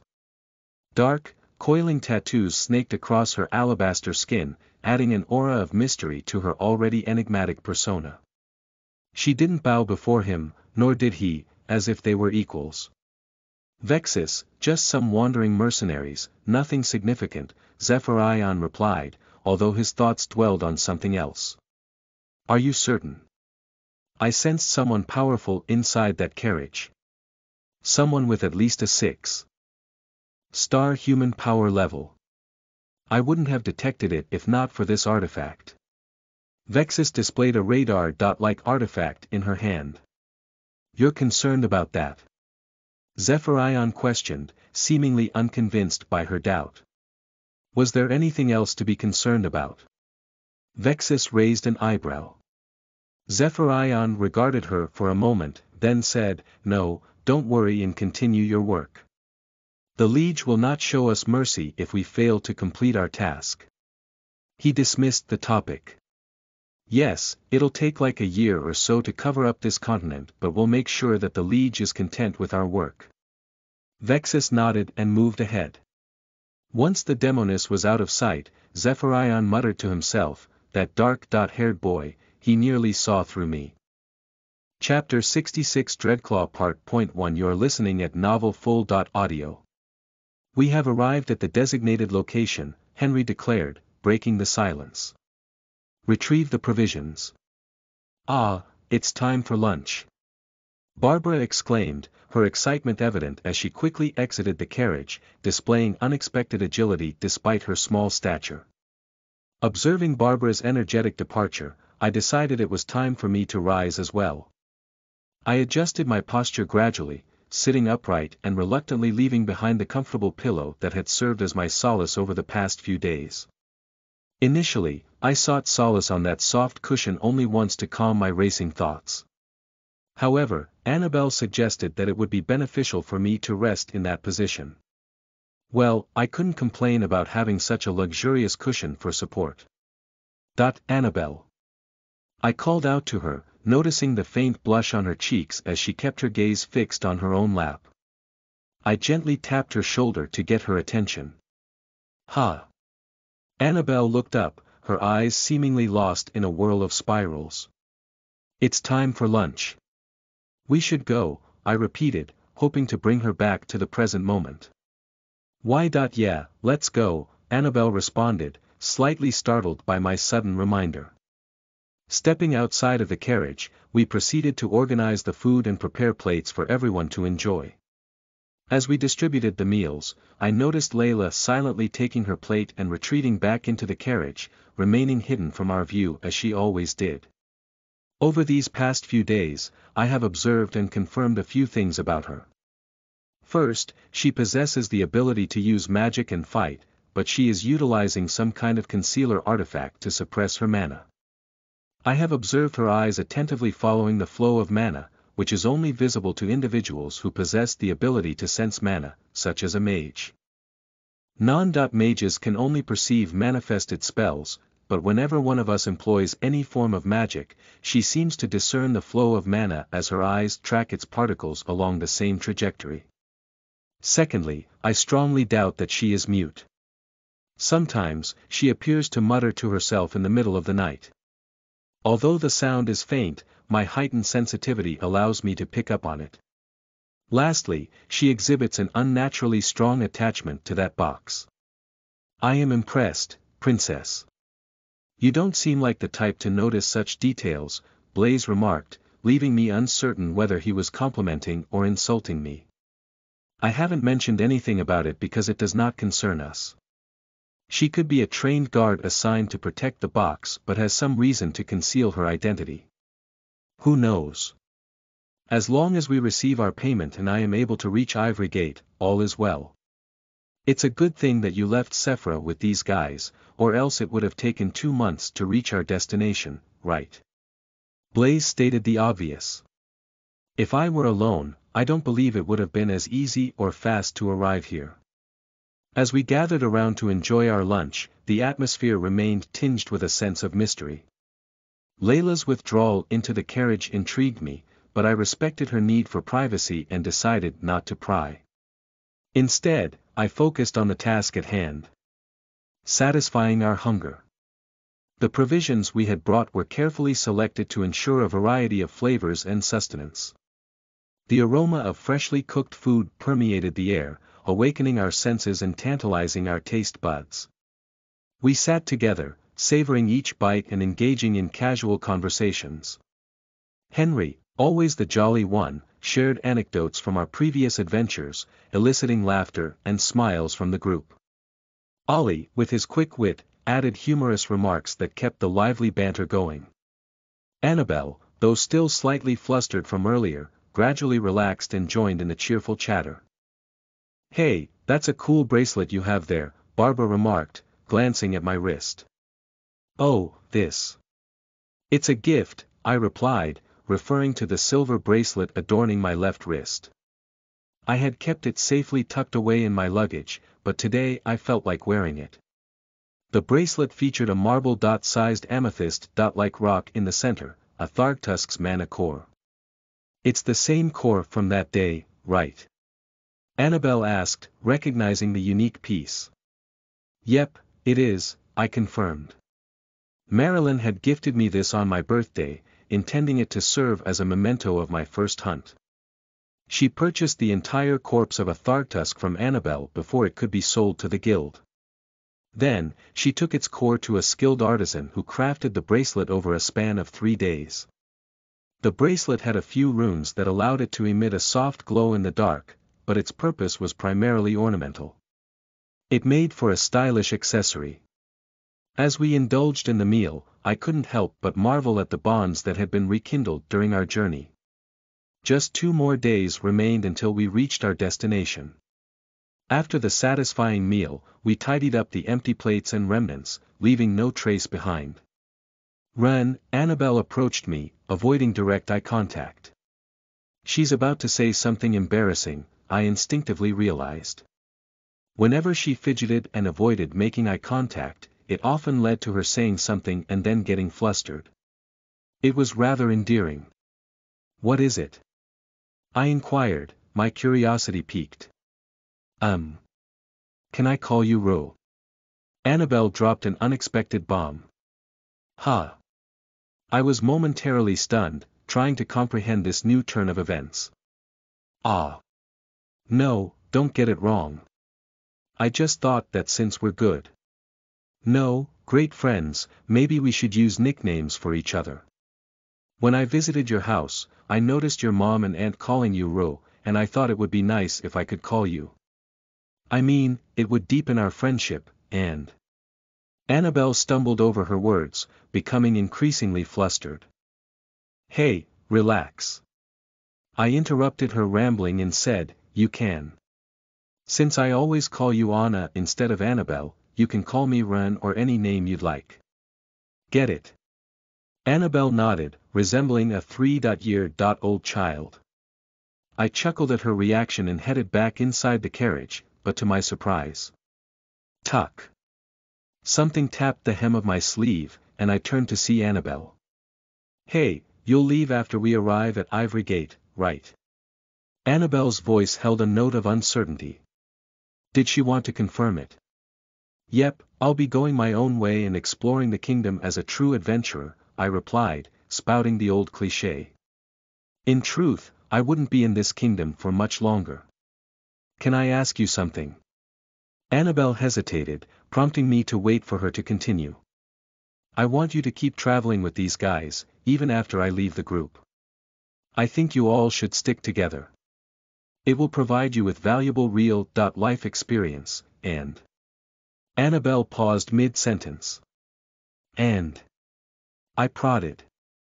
And it will be safer for you too, she finally revealed, her words weighed with concern. I understood her feelings. From her perspective, I was just a teenager not yet mature enough to take care of myself. Moreover, Annabelle herself wouldn't be around for long, as she was pursuing her dream job. She wanted me to stay with her friends so they could keep an eye on me. I don't think that's the only reason, Blaze chimed in, his voice lingering with suspicion. Listen, Annabelle, let me assure you that embarking on this journey alone is something I must do for my personal growth. Don't worry, it'll be fine. You've only recently returned to your previous life, and you have your friends here. Cherish your time with them and don't dwell on anything else, I reassured her before stepping back into the carriage. It's better for her to be concerned about people who will be with her for a long time, rather than worrying about someone she only just met who is parting ways soon, right? Are you not going to meet her again, princess? Blaze asked, seeming oblivious to my words. Once I leave Ivory Gate alone, I doubt there will be any chance for Anna and me to cross paths again. She will live her life, and I will live mine. That night, the carriage continued its steady pace through the dark night. No moon illuminated the sky above. Inside the carriage it was me, Zark, Barbara, and Annabelle, who had settled beside me with her head gently resting on my shoulder as she drifted off to sleep. Eminem Ro, don't do that, it hurts, Annabelle mumbled in her sleep. I wondered what kind of dream she was having, hoping it wasn't something too mischievous. I highly doubt it's not a mischievous one, Blaze interjected. Suddenly, a thunderous thud reverberated from outside, followed by Ollie's voice shouting, It's Dreadclaw. Chapter 67 Dreadclaw Part Point 2 You are listening at novelfull.audio. Dreadclaw is a notorious bandit group that has been plaguing the region for years. Composed of ruthless and cunning individuals, they are known for their brazen acts of robbery, pillaging, and violence. As the menacing proclamation of Dreadclaw echoed through the night, adrenaline surged through my veins, dispelling any remnants of drowsiness. I swiftly pushed Annabelle away, gently rousing her from her slumber. Annabelle, wake up. We're under attack, I urgently whispered, shaking her shoulder. Her eyes fluttered open, still groggy from sleep, but soon widened with alarm as she registered the urgency in my voice. What? Dreadclaw. Here. Annabelle exclaimed, her voice trembling with a mix of fear and determination. She quickly sat up, rubbing her eyes to clear away any remnants of sleep. I turned my attention to the others in the carriage, alerting them of the impending danger. Zark, prepare your magic. Annabelle, get ready to use your wind spells. Henry, Ollie, be on guard. Barbara, strengthen your body with mana and be ready for a brawl. Each member of the group sprang out of the carriage and took the positions. I stood at the forefront, my heart pounding with a mixture of anticipation and interest. The bandits before us, known as the Dreadclaw, were a motley crew of rogues and misfits. They bore the marks of a life steeped in lawlessness, their tattered and mismatched attire blending seamlessly with the shadows of the dense forest. The leader of the Dreadclaw, stood at the helm, his wiry frame exuding an air of confidence and malevolence. His eyes glinted with a twisted hunger for power, and his grin revealed a mouthful of yellowed teeth, adding to his menacing aura. Behind him, the bandits fanned out, each one displaying varying degrees of skill and ruthlessness. Flush flames danced in my hands, the heat of my magic warming my palms and fueling my determination. I took a deep breath, centering myself amidst the chaos unfolding around me. Stay close and watch each other's backs. Henry called out to his companions, his voice steady despite the adrenaline coursing through the veins. We formed a tight-knit circle, our weapons at the ready and our spells prepared to unleash devastation upon our foes. With a flash of movement, the battle commenced.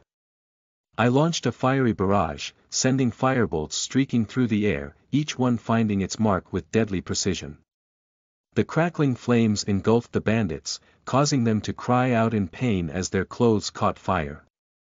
ZRHRH the enigmatic sorcerer of this group, Zark. Chanted incantations that resonated with arcane power. Henry and Ollie, two steadfast swordsmen, engaged the bandits in close combat, their blades flashing with deadly precision. Their years of training and battle-hardened skills were evident as they parried and countered the bandits' attacks, their strikes swift and lethal. Barbara, the brawler, channeled her mana, enhancing her strength and endurance. With a roar, she charged into the midst of the bandits, her fists glowing with raw power. Each blow she delivered was like a thunderous earthquake, sending shockwaves through the air and shattering bones. And Annabelle. Ha Annabelle, unlike others, Annabelle stood close to the carriage, visibly shaking. It's not easy to let go of past trauma. Anna. Keep Layla safe and don't come here, we'd cover for you. I said, there's no point in getting her involved here if she is scared. Amidst this chaos, I focused on my fire magic, weaving spells.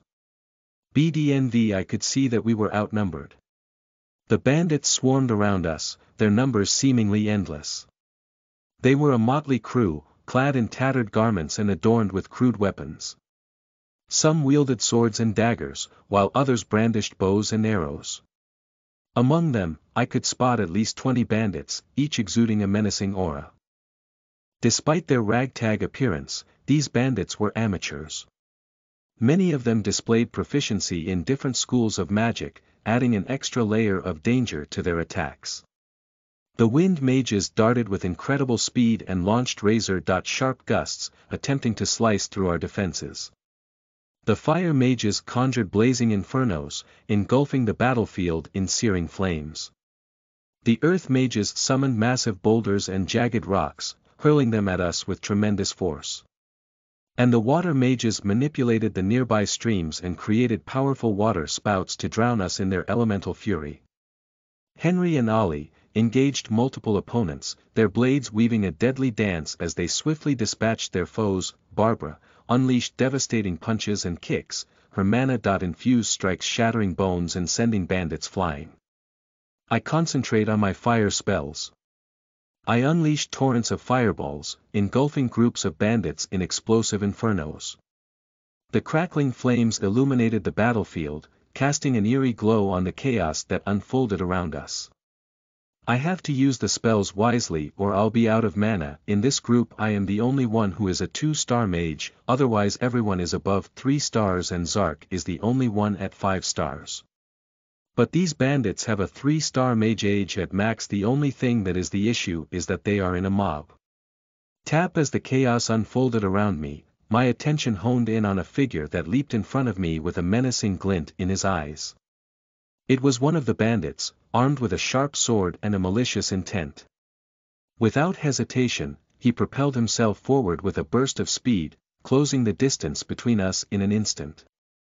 Instinctively, I reacted, my body moving on pure reflex. I swiftly shifted my weight, leaping backward to create distance between us. The bandit's sword swished through the air, narrowly missing me as I evaded his vicious strike. The metallic clash of our weapons echoed through the air, a testament to the intensity of our confrontation. I still have the sword that Ollie gave me as a spare. Knowing that I had to retaliate, I focused my concentration and channeled my magical energy. With a swift motion of my hand, I conjured a firebolt, its fiery essence crackling with power. I launched the projectile towards my adversary, fully expecting it to connect. However, to my surprise, the bandit's agility proved formidable as he deftly dodged the searing flames, narrowly evading their destructive path. Undeterred, I recalibrated my strategy. Sensing an opportunity, I channeled mana into my lower body, empowering my legs with a surge of energy. With a burst of speed, I lunged forward, delivering a powerful kick towards the bandit's midsection. But he was no novice in combat. Reacting swiftly, he brought his mana-clad sword in the path of my attack, parrying my blow with a resounding clash.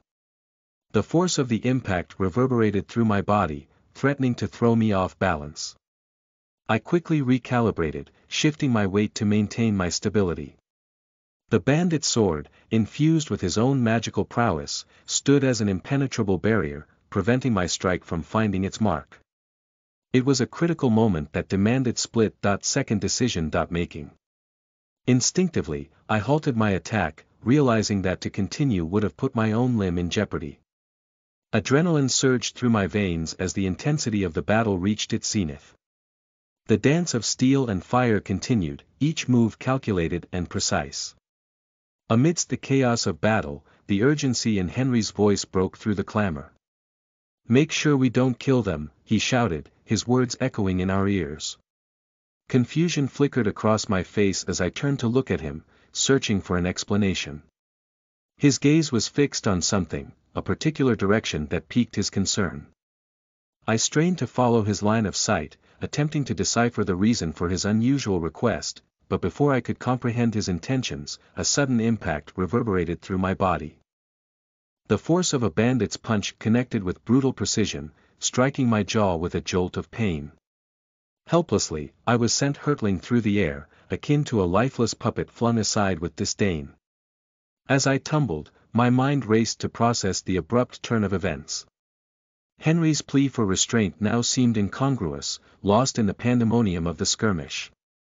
It was becoming evident that our desperate struggle had devolved into an unrestrained clash, where the preservation of life took a backseat to survival. Casting off the daze that threatened to cloud my senses, I regained my footing with a surge of determination. Blood trickled from my split lip, gritting my teeth, I wiped away the blood staining my chin, a symbol of the price I had paid for underestimating the stakes and looking aside of this encounter. In this moment the notion of holding back, as Henry had suggested, felt increasingly distant and impractical. With a renewed sense of purpose, I locked eyes with my assailant, I'm afraid I can't make that promise, Henry, I muttered under my breath. Chapter 68 Dreadclaw Part Point 3 You are listening at novelfull.audio. I adjusted my jaw, wincing at the pain. That guy put everything he had into that one punch. Are you going to kill him? Blaze asked, picking up on my thoughts. Yep, I am going to kill him, I replied. I didn't care what anyone else thought. No one dares to lay hands on me and expect to get away unscathed. You're with the group, remember. What happened to keeping a low profile and not letting them know you're a psychotic killer, Blaze's nagging didn't even make sense to me anymore. Who's the real psychotic killer here? I never intended to hide the fact that I can kill. My goal was to conceal the fact that I slaughtered a group of goons and disposed of their bodies. Getting back on my feet, I relaxed my body and retrieved the fallen sword. I had infused it with my mana, though I couldn't reinforce it with fire due to the lack of magical prevention inscriptions. However, I could still envelop it in a layer of raw mana and coat it with fire. It would damage the sword, but it was a sacrifice worth making. Swing I took the position, lowering myself a little and pointing the horizontally towards the bandit. For taking a deep breath I relaxed my raging heart and ceased all anger from my soul, every minute desire and only one thing was now the goal of this fight. I'll kill every single one of them. I swung the sword and dashed forwards, I've never actually learned a shit about swordsmanship but I am quite proficient in martial arts so it's all on my instincts on how I fight as far I've seen Ollie and Henry fight they fight very systematically and to me it seems quite that not exciting. Clang with a resounding clang, the fiery blade collided with my opponent's sword. I exerted force, pressing forward, but he attempted to evade by leaping backward. In that instant, I swiftly withdrew my strength, moving away from his attack trajectory.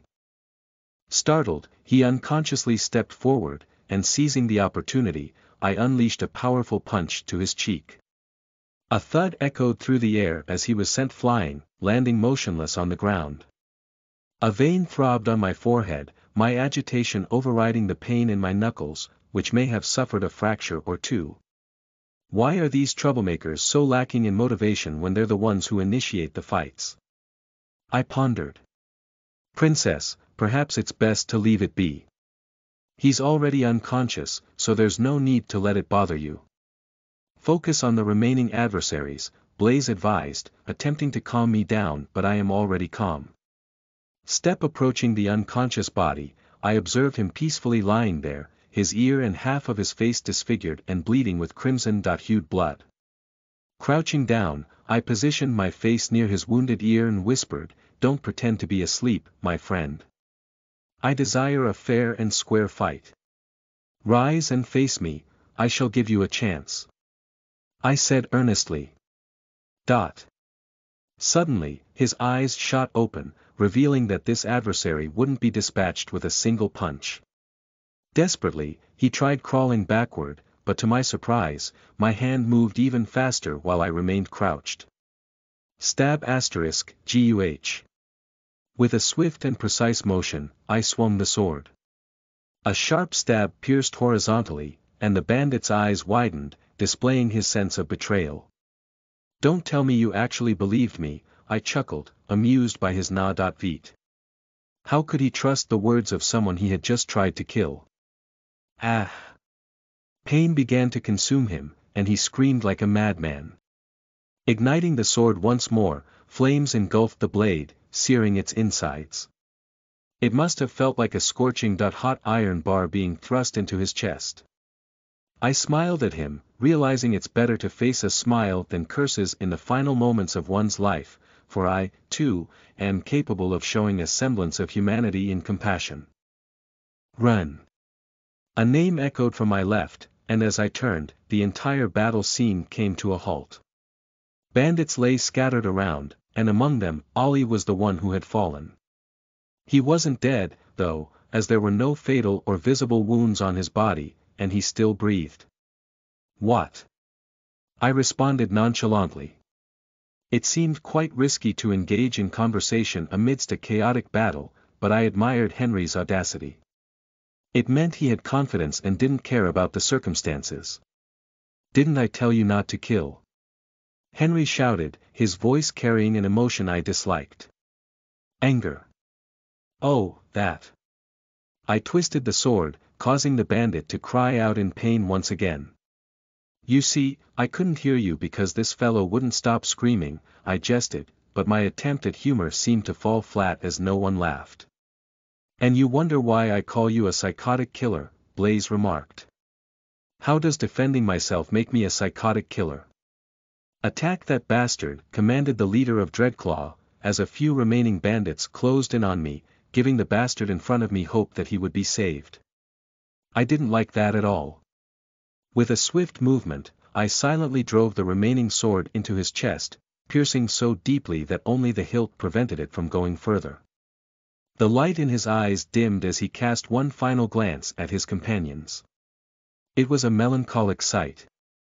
Don't worry, most of them will join you up there. I promise, I whispered softly. Tut envied at a dull thud marked the corpse's awkward position, one leg splayed in a V shape, a sword protruding from its back, and blood trickling like a thin streak along the blade. It resembled a peculiar piece of art, albeit one that adhered to the subjective nature of artistic interpretation.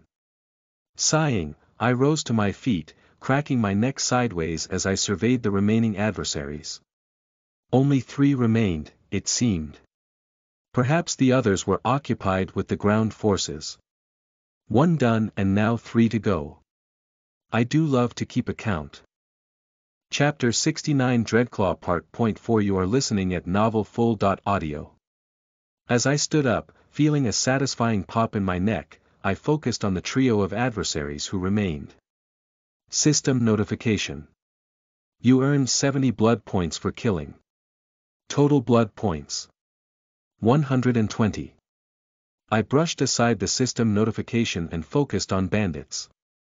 Their expressions were concealed by their covered faces, but their apprehension and determination were evident in their body language. They understood the dire situation they were in. Sling asterisk I withdrew my sword from the fallen bandit's body, giving it a quick shake to remove the excess blood. The scent of burnt blood lingered in the air, invoking a strange sense of nostalgia. For the battlefield grew tense, and a momentary silence settled over the area. Time seemed to slow down, granting me a precious opportunity to assess my opponents. Each of them wielded a different weapon, a dagger, a mace, and a short sword. They were ready to make their final stand against me. Without uttering a word, the bandit with the dagger lunged forward, displaying swift and agile movements. I swiftly sidestepped his attack, narrowly evading the sharp blade. Swing asterisk in response, I swung my sword in a wide arc, aiming for his exposed flank. The blade whooshed through the air, but he managed to dodge at the last moment, narrowly escaping the fatal blow. I followed up with a kick aimed at his shin, but he quickly raised his hands, deflecting the attack. A distinct cracking sound echoed, indicating that he might have broken a bone in the process. Meanwhile, the bandit wielding the mace launched a frontal assault, swinging the heavy weapon with brutal force. Reacting swiftly, I parried the attack with my sword, resulting in a resounding clash of metal. The impact sent vibrations up my arm, causing a momentary ache. As the third bandit, armed with a short sword, assessed the situation, he saw an opening and lunged at me, aiming for my vulnerable flank. I swiftly spun around, evading the attack with a hair's breadth and countering with a quick kick to his abdomen. The force of the impact doubled him over, granting me a split second to strike with the pommel of my sword, temporarily incapacitating him. Taking advantage of the moment, I swiftly clatted my index and middle fingers of my left hand and poke asterisk, you crazy ass sadistic motherfucker. Blaze's voice broke the silence, questioning my intentions with a mixture of disbelief and judgment. I couldn't deny the sadistic nature of my actions, even though I knew it wasn't morally right. Because with a poke, I targeted his eyes, my fingers poking into his skull. Causing blood to spill from his sockets. It took him a moment to comprehend what had happened, but before he could scream, I channeled a powerful surge of lightning through my fingers. Blast. The intense discharge of mana caused his head to explode, painting my face with blood, while the remaining half of his body collapsed lifelessly. Dot silence in the aftermath, a heavy silence enveloped the scene. I took a moment to reflect on the lives lost during this violent encounter, acknowledging the harsh realities of the world I inhabited. Perhaps this counts as a second, now, I mused aloud. Observing the two remaining bandits, I noticed their trembling legs and loss of confidence. Fear had replaced their once assured postures. As the battle raged on, a wave of intensity washed over me, and everything around me seemed to fade into a hazy blur. The world transformed into shades of blue, a surreal backdrop for the relentless fight that unfolded. Despite the searing pain of the stab wound, I refused to succumb to the agony. Every movement was infused with a fierce determination, a refusal to let my adversaries claim victory. With every ounce of strength and skill I possessed, I unleashed a torrent of strikes, dodges, and counters. Their attempts to hurt me became fuel for my relentless pursuit of vengeance. Each blow I landed carried the weight of my hate and enjoyment, delivering a resounding message of defiance. I fought with a ferocity that bordered on madness, channeling my every emotion and dancing into a symphony of violence. In the midst of the chaos, I ensured that their deaths would be as humiliating as possible. I exploited their vulnerabilities, striking with precision and exacting my revenge with a ruthless efficiency. The battlefield became a stage for their ultimate downfall, as I orchestrated their demise with calculated brutality. Ha!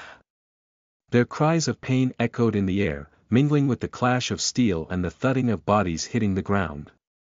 It was a symphony of suffering, a testament to the depths of my entertainment. Time seemed to stretch, each passing second filled with a raw and unrelenting determination. The taste of blood and the sting of my wounds served only to further ignite the fire within me. There was no room for mercy or restraint, only a relentless pursuit of death, no matter how brutal it may be. As the last of my opponents fell, the weight of the battle settled upon me. I stood amidst the wreckage, my body battered and broken, but my hunger was not dissipated. Ha ha! I controlled my breathing. The blue haze that had consumed my vision slowly dissipated, revealing the aftermath of my wrath. Silent silence engulfed the battlefield, broken only by the sound of my ragged breaths. I surveyed the scene, a tableau of triumph and tragedy. The humiliation etched upon their lifeless faces served as a testament to the price they paid for crossing me. In that moment, I realized how much I've missed all this. Step I took a step back, my heart pounding, my body trembling with a mixture of adrenaline and exhaustion.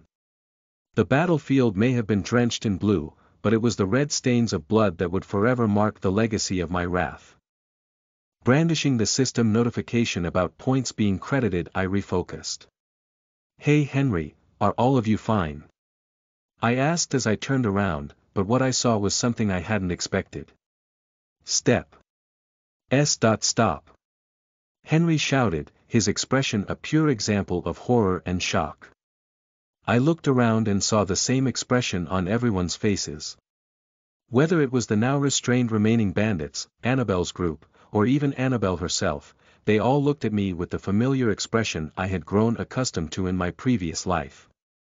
It was a mix of fear, shock, betrayal, and disgust. It feels like home. I muttered under my breath. Chapter 70 Parting Ways Point 1 You are listening at novelfull.audio. As I took a step back, my heart pounded in my chest and my body trembled with a mixture of adrenaline and exhaustion. I couldn't help but notice the horrified expressions on their faces. Henry's voice broke through the heavy silence, pleading for me to stop. S. Stop, he shouted, his voice filled with a combination of fear and disbelief. I turned around, carefully surveying the scene and becoming aware of the looks on everyone's faces, whether they were the restrained bandits, Annabelle's group, or even Annabelle herself. Their expressions revealed a mix of fear, shock, betrayal, and disgust. It was a familiar sight, reminiscent of the reactions I had grown accustomed to in my previous life. A profound feeling of emptiness washed over me as I took in the turmoil my actions had caused. The realization that I had allowed my sadistic nature to take control, surrendering to the violent tendencies I had desperately hoped to leave behind, weighed heavily on my conscience. It feels like home, I muttered quietly, my words barely audible against the backdrop of silence. Memories of a life stained with violence and cruelty resurfaced, forcefully reminding me of the person I once was, and perhaps still am. In that moment, I understood the depths to which I had fallen. Despite the thrill of battle and the momentary satisfaction of victory, I couldn't deny the moral conflict that raged within me. It would take time for those around me to become accustomed to my extreme actions, as I had not even unleashed my full potential, it simply wasn't worth it. As the silence persisted, broken only by the sound of my ragged breaths, I grappled with the profound consequences of my actions. The blue haze that had clouded my vision earlier seemed to dissipate, allowing me to witness the aftermath of my wrath with stark clarity. The sight of the blood-soaked battlefield and the mangled bodies of my enemies evoked a twisted sense of beauty within me. With measured steps, I moved forward, approaching Annabelle who sat on the ground, her legs seemingly drained of strength. Her flickering eyes held a mixture of fear and shock as she looked up at me. Crouching in front of her, I reached out my hand, hoping to offer her comfort, to help her overcome her fear and move forward. But before my hand could make contact, Annabelle brushed it off, her voice quivering as she spoke. It was evident that she was on the verge of tears, and yet she held them back until now. D. Don't. Annabelle exclaimed, her voice filled with trembling emotions, her expression betraying her inner turmoil. It was clear that my blood-stained hands repulsed her, evoking a profound sense of remorse and disgust. The crimson stains served as a haunting reminder of her own past traumas, and the weight of their lives must have created a deep crack within our relationship but it wasn't that strong to begin with. I understood why she pulled away, why she rejected my touch. Annabelle's eyes, filled with a mixture of fear and disappointment, finally found her voice. Why that you are not my road she whispered, her words laced with sorrow. Her question reverberated through my mind, piercing my conscience and leaving me grappling with answers. I had sought a fresh start, a chance to leave behind the darkness that had consumed me before. Yet, in this moment, I realized that my past had caught up with me, and I had willingly allowed it to consume me once again. I hadn't truly changed, nor did I believe I needed to change now. I couldn't alter the choices I had made, the lives I had taken. I could have chosen a different path moving forward, but I knew deep down that it wouldn't have been as satisfying or enjoyable as the path I had embraced. Dot taking a deep breath, I turned away from the haunting scene before me. The battle had come to an end, and my presence was no longer required. It was time to confront the darkness that resided within my soul and wholeheartedly embrace it, just as I always had. Walking back, I entered the carriage that had been waiting in the midst of the battle scene all along. Inside, I found her, the mysterious woman. She clutched a small box in her hands, holding it as if it were the most precious jewel, a possession she would give up her life to protect. Closing the small distance between us, I positioned myself beside her, careful not to stain her delicate veil with my bloodied hands. She observed me with curious eyes, unperturbed by the gruesome scene I embodied. Leaning closer, my face near her ear, I whispered, I know the box is empty, my lady. She flinched, displaying a flicker of surprise, the first visible reaction she had shown.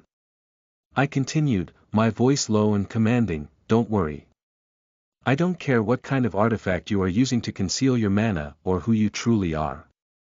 All I ask is for your silence, as you have been silent throughout this journey. And when you reach your destination, refrain from attempting anything deceitful with them. Understood. I posed it as a question, though I expected no response. She remained silent, confirming my expectations. Good, I affirmed. Reaching into the luggage, I pulled out a towel, perhaps belonging to Ollie, and used it to wipe the blood from my hands. I then gathered my belongings and noticed a small red box, the money the merchant had given me as advance payment. I retrieved a few coins from it, feeling that I deserved at least that much. Stepping out of the carriage, I found the scene unchanged from before, everyone still frozen in the aftermath. Is it that shocking that I mused to myself? Have you taken a good look at yourself? Blaze answered, reminding me of the unrecognizable figure I had become. Hey Henry, I took a few gold coins from inside, probably like twenty or so. I'll be taking that horse with me, hope you don't mind. I tossed five coins at him, but he failed to catch them, and they fell to the ground. Does he not realize the value of five gold coins? It's enough to sustain me for a few months if I spend it wisely. Well, I don't care either way. I proceeded towards the front of the carriage, where the horses were tethered. Since both the horses that Ollie and I rode are now lifeless somewhere, I'll have to use the horse that's been tied to pull the carriage. Ren, what are you? Zark's voice cut through the silence as he approached cautiously, maintaining a few steps of distance. Don't worry, I'll be parting ways now, I replied without glancing at him. I had planned to do so when we reached Ivory Gate, but it seems better to leave now. Make sure to take care of Anna, this must have been quite a shock for her. I fully untied the rope and loaded the luggage onto the horse's back. But.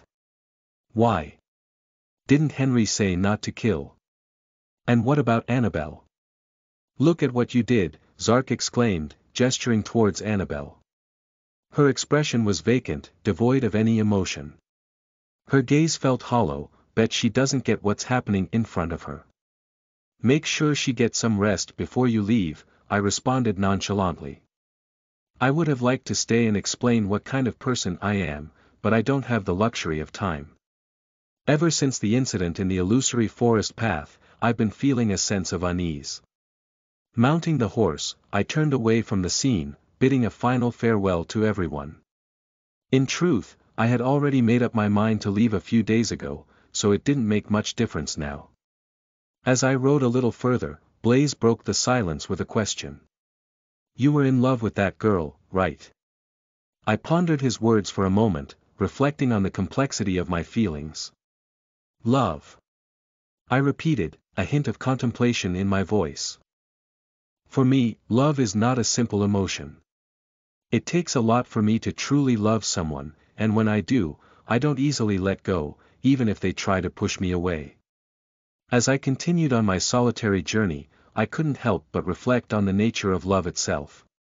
Love was a force that had the power to both heal and destroy, to bring joy and pain in equal measure. It was a delicate balance that required trust, understanding, and a willingness to weather the storms that life inevitably brought. But for now, I had chosen to walk away. I had chosen to distance myself from the turmoil and the chaos, knowing that my presence would only bring more confusion and uncertainty. Love, in its complexity, demanded sacrifice. The road ahead was uncertain, and my heart carried the weight of the choices I had made. But as I disappeared into the distance, I held on to the hope that someday, love would find its way back to me, and I would be ready to embrace it with open arms, unburdened by the shadows of my past. She fucked up my love life haha. I chuckled as I thought about that person. A slash N, um. Sorry I guess.